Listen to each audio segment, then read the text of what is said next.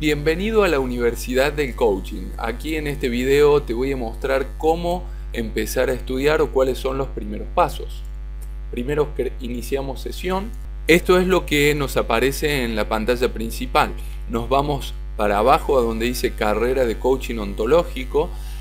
Primero acá vamos a encontrar eh, los avisos de las próximas aulas en vivo. Por ejemplo, en este caso tenemos el martes 23 de enero a las 22 horas Argentina, 20, horas Colombia, coaching espiritual.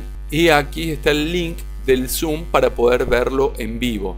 Lo mismo el jueves 25 y luego de que estén los anuncios podemos encontrar primero una, un listado de libros PDF para poder eh, ir leyendo Después tenemos la especialización del coaching espiritual, neurociencias, oratoria, programación de neurolingüística, PNL e inteligencia financiera.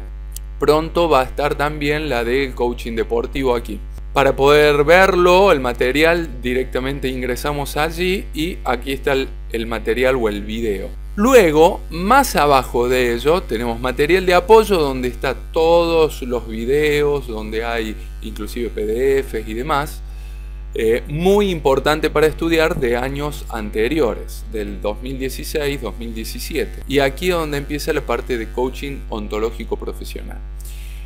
El primer módulo es Introducción a la Coherencia Ontológica. Si le damos clic acá, se despliega más abajo todas las aulas que ya se han presentado en cuanto al coaching ontológico, coherencia ontológica.